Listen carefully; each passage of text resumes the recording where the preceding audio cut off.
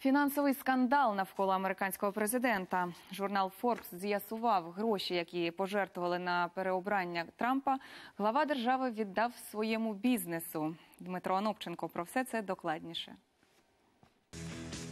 У 2016-му, тільки прийшовши в політику і вперше заявивши, він має намір балотуватися в президенти, Дональд Трамп дав ще одну обіцянку витрачати на кампанію свої власні гроші.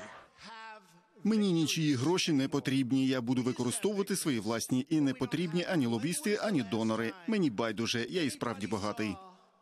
Кандидат і дійсно за перші місяці кампанії витратив 50 мільйонів з власних коштів, але потім гроші потекли у зворотній бік в кишеню до Трампа. Як пише сьогодні Форбс, з коштів республіканської партії вже майже півтора мільйони перераховані фірмам, що належать президентові.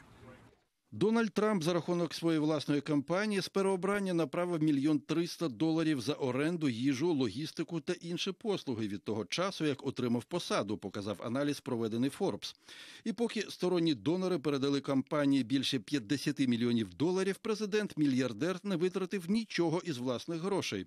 У сухому залишку мільйон триста коштів від донорів стали мільйон триста грошей Трампа. Форбс з'ясував, президент нібито сам у себе орендує приміщення в Trump Tower, сам собі платить за відвідини своїх же ресторанів. При цьому ще й орендну ставку виставив 600 доларів за фут. Хоча в сусідній будівлі навіть магазин Гуччі 440 доларів за фут платить.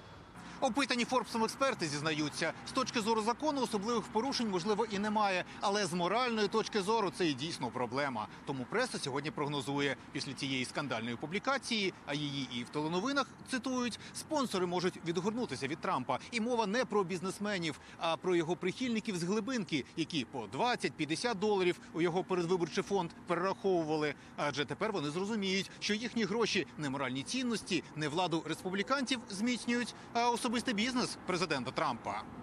З Вашингтона Дмитро Анопченко, Сергій Коваль, американське бюро телеканалу Інтер.